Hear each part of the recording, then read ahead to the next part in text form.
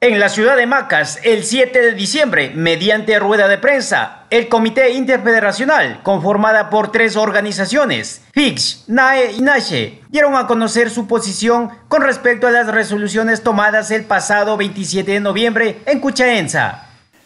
Dentro de las resoluciones del comité realizado en la Asociación Cuchaenza, con más de 3.500 asambleístas presentes en esa convocatoria que fueron asistidos, Faltando cinco días para que se dé el cumplimiento de los 15 días que se dio el plazo a todas las actividades mineras que están operando dentro del territorio de Morona Santiago, dentro, dentro del territorio de las organizaciones como es Shuar y Achuar.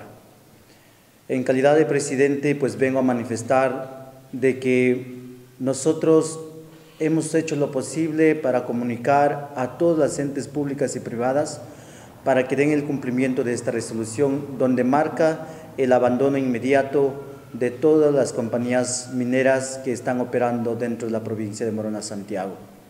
Fueron tildados de llamar a la violencia o al desalojo, expresó el presidente de la nacionalidad Achuar del Ecuador.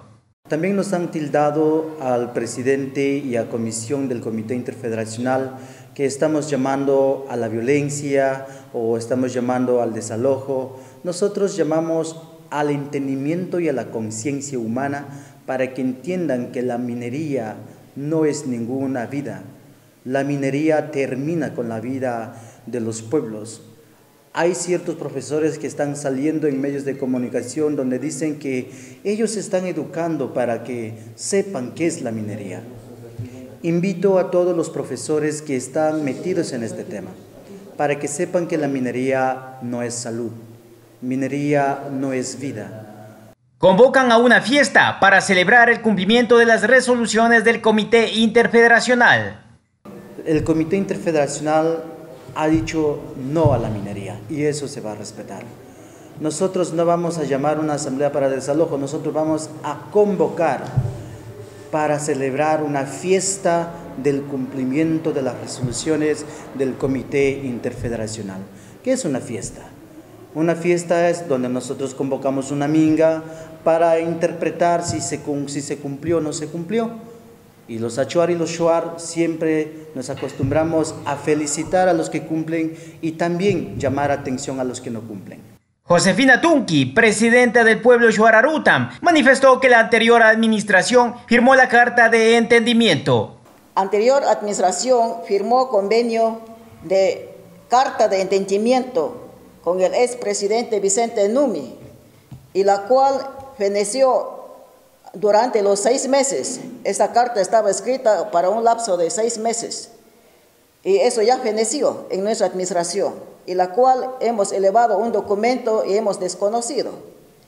Y lo, que, lo peor sucede que la empresa Solaris, que está ubicado en el territorio del pueblo Aruta, justamente la comunidad que todo el mundo conoce, nadie puede decir que no conoce, eh, y Yavi están dentro de la asociación Nunqui, que pertenece al Cantón Limón. Y allí está la empresa y sigue, siguen pronunciando las bases y la empresa Solaris Resource Limitada Canadiense que esa carta continúa el documento nosotros tenemos el rechazo de esa empresa. Estas concesiones son a cielo abierto, aclaró Josefina. Estas concesiones son de acción a cielo abierto de estas empresas y sabemos que estas concesiones y los trabajos de este extractivismo a cielo abierto perjudica mucho porque contamina, porque esas concesiones están encima de yacimientos de los grandes ríos que son las cuencas, cuencas sagradas y los ríos vertientes que se sirven las comunidades. Y al futuro son más útiles, serán porque al futuro eh, por más que digamos no a la empresa, pero hay otros, otras maneras de contaminar el territorio.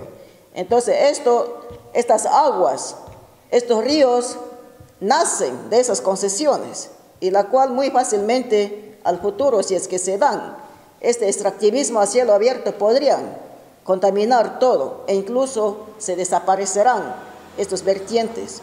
Luis Nawish, presidente de la FIX, explicó que las empresas deben hacer cumplir las resoluciones dadas. Señor gobernador, gobierno nacional, las empresas creo que deben hacer cumplir las resoluciones últimas dadas del Comité Interfederacional. Estamos hablando de buena manera.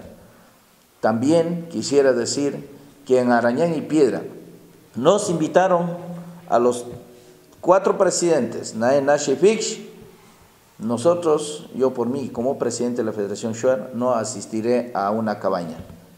Nos invitan a comer, nos invitan, no, no, nosotros no estamos muriéndonos de hambre, tampoco no somos cualquier persona para que nos lleven a una cabaña. Si cualquier reunión quieran tener, ahí está la gobernación, ahí están espacios públicos del Estado que podemos concurrir con todos los medios de comunicación, con la población porque yo nada decido yo solo como dirigente. En cuanto a mí me eligieron, me eligió el pueblo. A eso represento. El acuerdo al que llegó el expresidente con las empresas se rompen, expresó el presidente de la FIX. El acuerdo que había llegado el expresidente, el compañero Elvis Nativ, con las empresas, dando permiso y autorización para que se rompe conmigo. ¿Ya? Conmigo, con empresas transnacionales no hay acuerdos con la Federación Interprovincial de Centro Shuar. Por tal motivo deben retirarse del territorio colectivo. Este es territorio del pueblo Shuar. José Luis Jaya, Expresa Temorona Santiago. Primer informativo digital de la provincia.